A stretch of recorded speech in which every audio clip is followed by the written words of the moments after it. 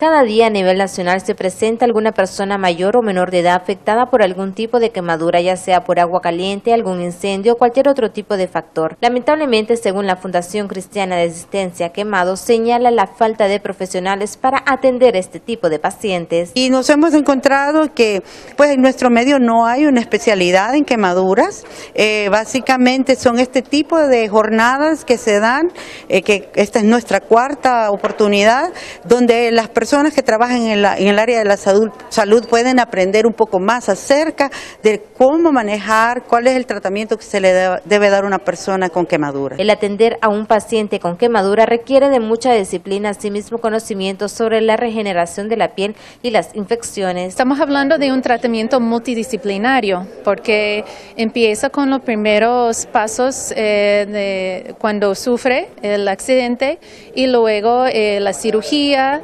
bueno, eh, la terapia, las actividades, psicológicamente, nutrición, estamos hablando de un equipo completo. Solo en este 2019 en Fundación Crisat han atendido a 1.500 quemados, es decir, un promedio de 7 personas por día. En este año te puedo decir que ya llevamos más de 800 niños y unos 700 adultos y hemos realizado unas 3.500 atenciones eh, de pacientes que llegan con nosotros. Imágenes de Casco, Paula Cobos Noticias.